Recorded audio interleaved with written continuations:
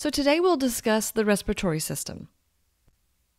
Now, before we dive into the details and the anatomy of this system, let's look at it from a big picture standpoint. Why do we need to breathe? So, I need you to think back to what we know and what we've learned previously about living things. Well, we know that living things are all made up of cells, and we also know that all cells need energy in order to carry out their processes and stay healthy and alive. Well, the type of energy that cells need to carry out their processes is something called ATP. And ATP is generated from the food that we take in, the nutrients from our food. So if we think about when we eat a cheeseburger, what happens? Well, we know that it goes through the process of digestion in our digestive system, and ultimately that is broken down into smaller nutrient molecules like carbohydrates and proteins and lipids. But then those are further um, broken down and used to produce this energy molecule called ATP. Now, I call this the energy currency of the cell. And that's because if you think about in life, if you want to go somewhere you have to pay money for gas for your car. If you want to eat food, whether that's going to the grocery store or to a restaurant, you have to pay money for that food. That's the currency that you exchange to get what you need. In a cell, in order to make a molecule, move a molecule, carry out a process, it requires the cell to spend ATP. Now, in order to turn the nutrients from the food we eat into ATP, it's a process called cellular respiration that occurs in the cell. Now, you may not remember the details of cellular respiration, and that's okay. But for this lecture, what I need you to remember or understand is in order for a cell to carry out cellular respiration, oxygen is required. So, no oxygen, no cellular respiration, no ATP, cell death. A product that's produced, and by product, I mean a waste product, so something that the body wants to rid itself of, is carbon dioxide. So, what we have here is in order for a cell to stay healthy and carry out its processes, it must undergo cellular respiration. In order to do that, it has to have a constant supply of oxygen, and a waste product is going to be produced carbon dioxide. Now, as you see here, you see that this cell represents one of the many, many cells of the body needing oxygen and producing carbon dioxide. Now, the purpose of the respiratory system is to get rid of that carbon dioxide and to take in a fresh supply of oxygen. Now, this system works together with the cardiovascular system, or it could be called the circulatory system, because the respiratory system's job is to exchange those gases, right? Take in oxygen, get rid of carbon dioxide, whereas the cardiovascular system's job is then to transport that to all the tissues and cells of the body. So let's dig in now to some of the anatomy of the respiratory system. All right, we're going to break this up into an upper respiratory tract and a lower respiratory tract. So, step one, we take in air. This goes through the nasal cavity. Some of the things that happen if the air is cooler than the body, it will be warmed. If the air is drier, okay, then moisture will be added to give some humidity. An important feature of the upper respiratory system is the presence of mucus, okay, lining the tract. And the point of this mucus is to trap debris, particles, so that it doesn't enter into the lung tissue.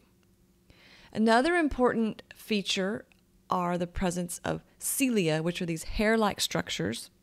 And these work together to sweep this debris or other harmful things back up into the pharynx or the mouth so you can get rid of it versus it entering into the lung tissue. Now, um, we see the nasal cavity here, right? We see the mouth here. So air comes in, and this next feature right here would be the pharynx. Now, the pharynx is important. That's sort of the opening, right, at the back of the mouth and the nasal cavity. And this is shared between the respiratory system and the digestive system. So, we're going to talk more about where this branches off between these two systems. Okay, let's continue down now to what we would consider the lower respiratory tract. So the larynx is the division, right? It is now part of the, we're now in the lower respiratory system at the point of the larynx. Now the larynx you might call, you might call it in common terms your voice box, right? This is where sound is produced, and that's because the vocal folds or vocal cords are found here. Now you can see that the larynx is sort of this bulging looking area. And what you see there in the front shown in gray is basically some different cartilage, uh, cartilages that are present as protection over the vocal folds. There's several cartilages there. One cartilage though that I want us to focus on and think about is the epiglottis. As I mentioned to you, the pharynx is a shared opening for both the respiratory system and the digestive system. So the epiglottis's function is to close over the trachea when you swallow so that food doesn't enter into the respiratory system. Instead, it goes behind the trachea into the esophagus, which is the tube, right, that leads to your stomach. Now, just as um, the larynx has cartilage so does the trachea. The trachea is made, and you can see in this image sort of these ring looking structures. The trachea is composed of cartilaginous rings. These aren't solid, in other words, they're not around the entire circumference, they're sort of C shaped rings. The point of this is to prevent the airway from collapsing, right? It has a little rigidity to keep the airway open. Now we see that air will travel right in the in the mouth or nasal cavity through the pharynx down the larynx. At this point the trachea will branch off into two main bronchi. So we have a left and a right bronchus. So bronchus would be the singular, bronchi would be plural. And I want to point out something to you as we go through these body systems. So you identify left and right based on the person that you're viewing. So this person, right, this would be the left side and this would be the right side. So this would be the right main bronchus, this would be the left main bronchus. The bronchi further branch or divide into bronchioles, and the air continues to travel down that path. Now, what I want you to see is ultimately we are going to get to where the actual gas exchange happens. So we're going to see that on the next slide. So this right here, the alveoli, this is important. This is sort of at the very end, right, of the of all the branching of the bronchioles. This is what we have. And it's shown in this picture here. Okay, these are sort of like sacs you could think of um, singular, it would be alveolus, right? Plural, alveoli. Now, there are many, many of these. As a matter of fact, it, the gas exchange is happening just based on diffusion. In other words, where oxygen is more concentrated, it's going to diffuse from that area to where it's less concentrated. And in order for diffusion to be effective, we have to have a lot of surface area. So, if you could stretch out the surface area of all the alveoli in your lungs, it would cover about the size of a tennis court. So, a lot of surface area there for gas exchange. Now, the other thing I want you to see is where these um, sacs are in your lungs, they are in direct contact with capillaries. So, if we look at this image over here, we look at one specific alveolus sac and the capillary bed. And what we see is these are very, very thin walled, both the capillary and, and the alveoli, and the gas is exchanged directly across. So when you breathe in and you have a rich supply of oxygen inside the alveolus, then the oxygen is going to diffuse from inside the alveolus into the capillary, right? Will enter the bloodstream. And then the blood that has reached the lungs is going to be carrying that waste gas of carbon dioxide that was produced in the cells and tissues, and that is going to diffuse into the alveolus. Then, when you exhale, right, you can breathe out that waste gas.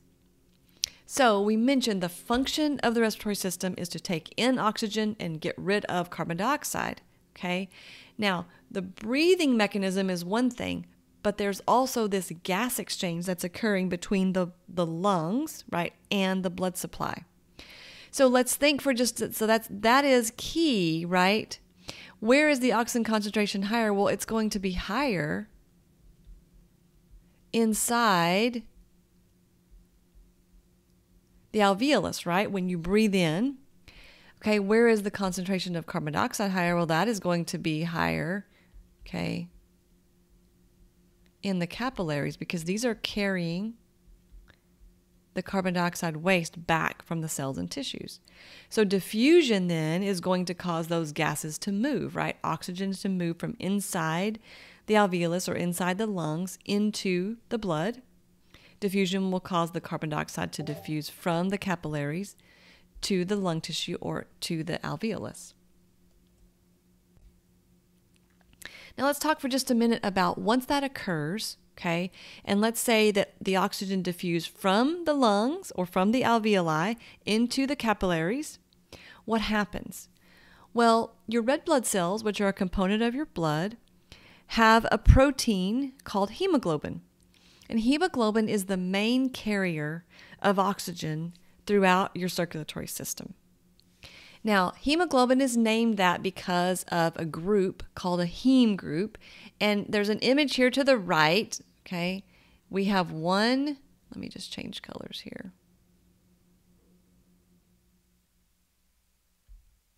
We have one, two, three, four different heme groups found in every hemoglobin molecule. So that means each heme group is a site for one oxygen to bind. So that means each hemoglobin molecule can bind four oxygens, four oxygen molecules. Now, what I want you to think about hemoglobin, okay, yes, it needs to be able to bind to the oxygen so it can carry it through the blood supply to all the cells and tissues. But at the same time, it doesn't need to hold too tightly to the oxygen, correct? Because the point is when it gets to the cells and tissues that need oxygen, the oxygen needs to be able to um, diffuse from the blood into the cells and tissues.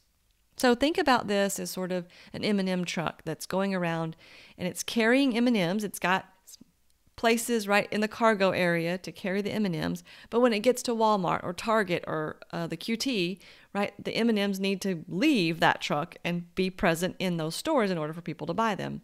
It's the same thing for hemoglobin, right? It's a transport truck for oxygen. So it carries the oxygen, but it needs to not hold so tightly so the oxygen then can exit the blood and diffuse into the cells and tissues where it's needed. Now, what about carbon dioxide? How's it transported? Okay, turns out that the majority of carbon dioxide is actually just dissolved directly into the fluid of the blood. Um, and it it we'll talk about this a little later, but it plays a very important role in buffering our blood. In other words, in keeping the pH of the blood in a, a sort of narrow range, a healthy range. And that's called a bicarbonate buffer because dissolved carbon dioxide produces bicarbonate. Now, bi- uh, carbon dioxide can also be carried by the hemoglobin molecule, but the majority of it is actually just dissolved in the blood. Now, we talked about gas exchange. Now, let's talk about actually taking in the air, right, and ex- ex- exhaling. So, to take in air would be called inhalation, and to um, breathe air out would be called exhalation. It's sometimes also inhalation can be called inspiration, and exhalation can be called expiration. Now, there are two groups of muscles that do this. The first is your diaphragm. Okay, so the diaphragm is this large muscle at the bottom of your thoracic cavity. And the other muscles that are important are what are called the intercostal muscles. These are muscles basically in between each of your ribs. So, what happens is the muscles of the diaphragm and the intercostal muscles contract. Okay, when they contract, you see that it expands, okay, the rib cage. So, in other words, it creates a larger space or what we would call negative pressure, and that draws air in. Now, when the muscles relax, that actually creates a smaller space. So the air is then forced out. Okay. Um, this is something that is occurring right? Both under um, involuntary and voluntary control. So I'm not having to think, I need to breathe, I need to breathe, I need to breathe. But I can slow my breathing, right? If I think about it. So it's both voluntary and involuntary. Now, let's talk for just a minute about some health concerns. Okay, obviously, there are lots of different things we could discuss, but I wanted to bring up a couple. The first is carbon monoxide poisoning. So, notice, remember, carbon dioxide was CO2, one carbon and two oxygen atoms. Carbon monoxide is one carbon and one oxygen. Okay, these are very different molecules. Carbon dioxide, yes, it's a waste, and we have to get rid of it, but normally it's produced in our bodies. Carbon monoxide, we are not producing. This is something that is produced when we burn fuel. So, let's say in appliances like a heater or a hot water heater, when fuel is being burned, carbon monoxide is produced. Um, what is so dangerous about carbon monoxide? Well, carbon monoxide binds to, remember, hemoglobin is that carrier molecule that we know is responsible for binding to oxygen. How many oxygen does it bind? Right, it binds four oxygens for every one hemoglobin. It carries that oxygen throughout the blood to the cells and tissues that need it. But here's the thing carbon monoxide actually binds to hemoglobin tighter than oxygen molecules. So, if we're exposed to carbon monoxide and breathe it in, then our hemoglobin can get saturated, right? Or, in other words, it can be the carbon monoxide can bind to all of the heme sites of hemoglobin. Therefore, there's no place for oxygen to bind. Therefore, our tissues and cells don't get oxygen. We get cell death and eventually death. Now, also, carbon monoxide is not something that you can see or smell. Therefore, one of the best things that you can do in your home is to get a carbon monoxide detector. New homes and apartments are built with um, detectors that are typically a combined smoke and carbon monoxide detector, but you can purchase one that just plugs into an outlet that will alarm you if you have carbon monoxide in your home. Now, if you want to know more about carbon monoxide, please visit the CDC. They are a great resource to get information about carbon monoxide. Now, um, the next thing I want to talk about is what happens to your respiratory system if you smoke or if you vape. So, I know you've probably all heard of something called the smoker's cough. You've probably heard a smoker the way that they cough it. It has a distinctive sound to it. Why do smokers have that cough? Well, it's because the toxins, right, in cigarette smoke are actually damaging the cilia that are in your respiratory tract. And remember, the purpose of the cilia is sort of to sweep out debris and things that get trapped in that mucus. Well, the cilia are damaged by that, so they can no longer sweep it out. So smokers are having to mechanically cough that out. Now, of course, we know in addition to that, there are um, cancerous toxins in cigarette smoke that lead to lung cancer. Now, what about e cigs or vaping? Well, um, we know that, so there's something called EVALI, e cigarette or vaping associated lung injury. And there are many things that can lead to this. One of the things that research is showing is that there are chemicals in these um, components in e cigarettes that contain things like vitamin E acetate, which can lead to this lung injury type disorder. We also know that there are other chemicals found in um, e cigarette cartridges that can damage the cilia just like cigarette smoking um, and that may lead to cancer. So, again, I recommend the CDC has great information on vaping, and there are other resources out there. But if you want to find more information, please visit those.